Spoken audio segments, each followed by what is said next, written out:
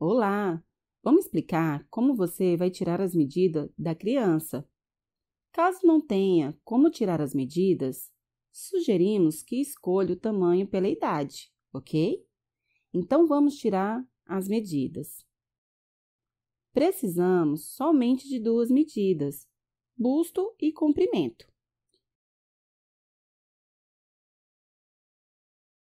Primeiro, vamos medir o busto.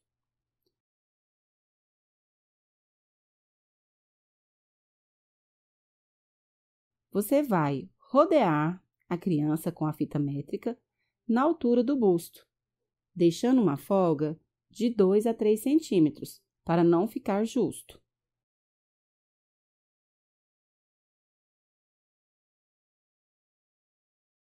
Agora, vamos medir o comprimento.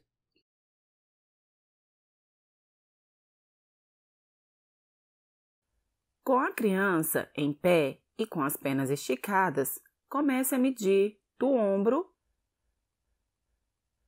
até 2 centímetros acima do joelho.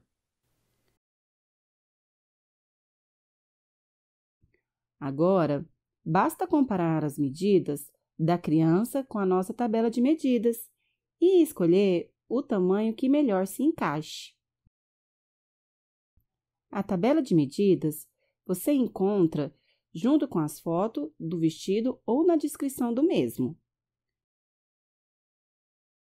Olha, caso as medidas da criança não se encaixem em nenhuma opção da tabela, sugerimos que escolha a opção que mais se aproxime em relação ao comprimento.